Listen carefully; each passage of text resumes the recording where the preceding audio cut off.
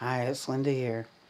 Now, I've been uh, thinking we've had, what, Sandy Hook, the Boston bombing, all this crap with, well, let's start with Fast and Furious. Eric Holder gets out of it, the IRS, the wiretappings, Benghazi, and the AP getting wiretapped, and all kind of people getting wiretapped, and and there's just a million things going on at once. But is this a distraction? Could something else be happening? Could our worst nightmares be coming true? Well, I found a little article today because I, am wondering is this just, I mean, this guy should have already been left office along with Hillary and the whole Senate and Congress should have been gone at this point if we were real Americans standing up. Obviously, they don't listen to us. I know a lot of us write and call them and protest and do things, and nothing is happening. So I found a little article. I'm going to let you, I'm just going to read a little bit. You can go read it, it's pretty long. But something happened on Monday, and here we go. Okay.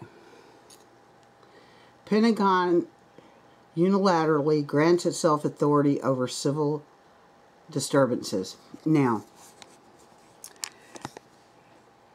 I, in my lifetime, I'm just going to tell you, I have seen during the during um, when Martin Luther King. I lived in Memphis when Martin Luther King was shot. I I saw the troops on the ground there, and I know that when the Kent State uh, happened, we had troops on the ground, and I know you know when um, what happened at Wounded Knee with Russell Means, they had brought in the troops. But really, I mean, in Boston, they brought in the troops.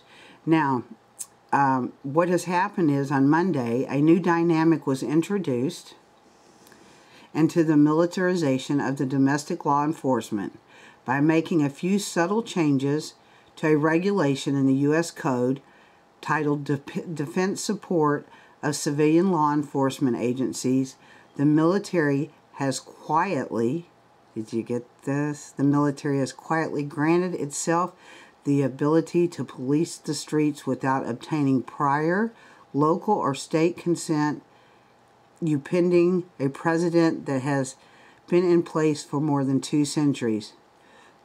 the most objectionable aspect of the regulatory change is the inclusion of a vague language that permits military intervention in the event of civil dis disturbances according to the rule federal military commanders have the authority in extraordinary emergency circumstances where prior authorization by the president is impossible because they can't find a phone or something and duty constituted local authorities are unable to control the situation to engage temporarily in activities that are necessary to quell large scale unexpected civil disturbances.